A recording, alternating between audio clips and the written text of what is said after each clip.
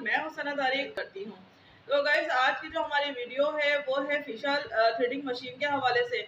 तो मेरे पास जो थ्रेडिंग मशीन है वो जो है काफ़ी ओल्ड हो गया है, यानी कुछ बहुत टाइम हो गया है मुझे उसको यूज़ करते हुए, क्योंकि जब मेरे हस्बैंड वो मस्कट फेस्टिवल में गए थे तो वहाँ से वो मशीन मुझे ला कर दिए थे। उसमें 2013 में उन्होंने वो मशीन परचेजिंग की थी और मैं 2013 मस्कट फेस्टिवल में जो है वो इस मशीन को इंट्रोड्यूस करवाया गया था।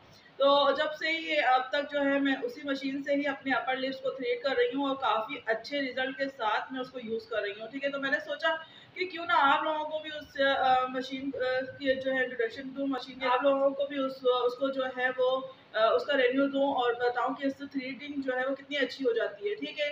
तो अभी मैं आपको दिखाती हूँ वो मशीन ये देखें।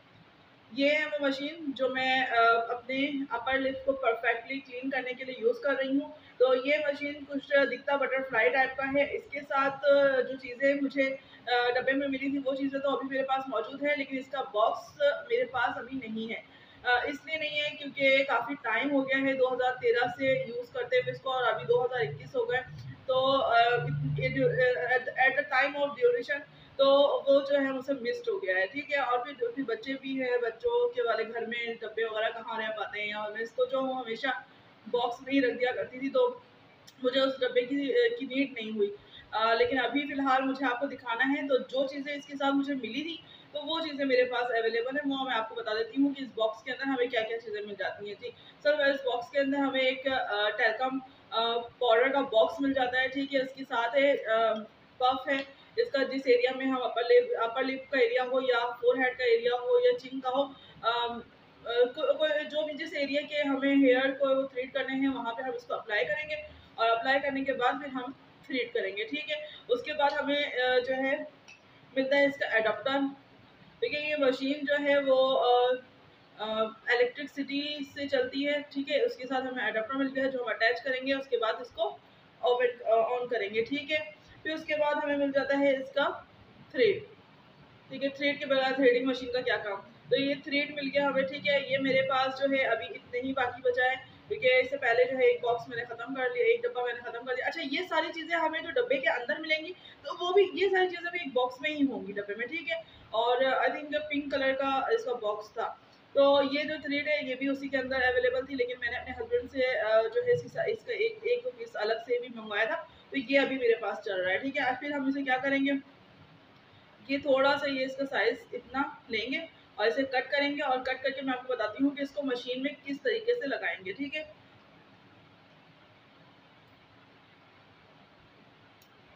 पहले हमने इसे कर लिया कट जी, ठीक है? अब इसे हम करते हैं अटैच ठीक है? इस तरीके से इस पर लगाएँगे।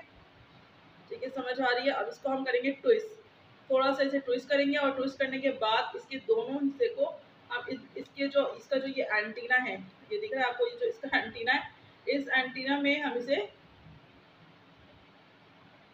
अटैच करेंगे ठीक है? इस तरीके से इसको लगा लेंगे और लगाने के बाद फिर इसको इसका ये हो स्क्रू जो है वो स्क्रू पे हम इसको फंसा के और इसको टाइट करेंगे ये देखिए इस तरीके से।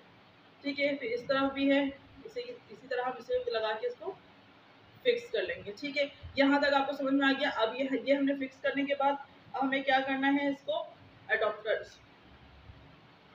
ये अडोप्टर फिक्स हो गया, ठीक है? अब हम इसे ऑन करेंगे, ठीक है? ऑन करके मैं आपको दिखाती हूँ कि इसकी एप्लीकेशन कैसे करना है। ठीक है जी? ये ये इसका बटन है।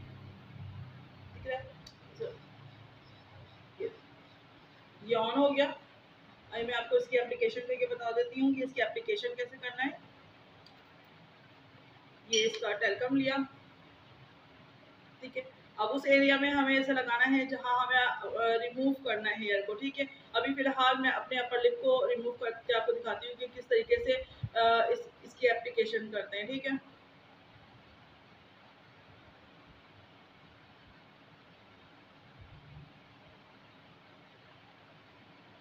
गया जी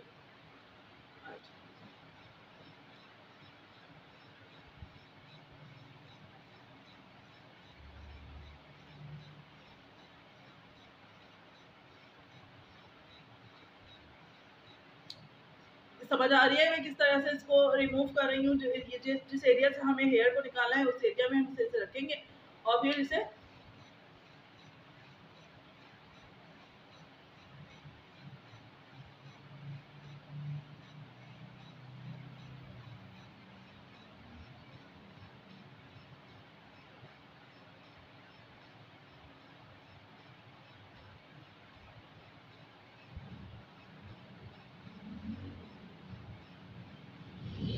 दिख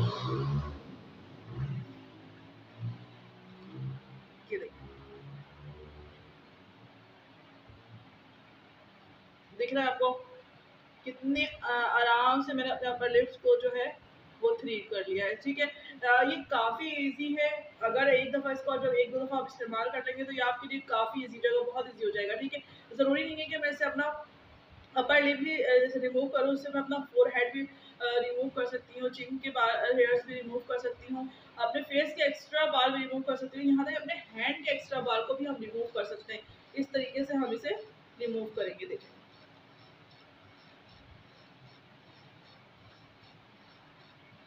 दिख रहा है आपको?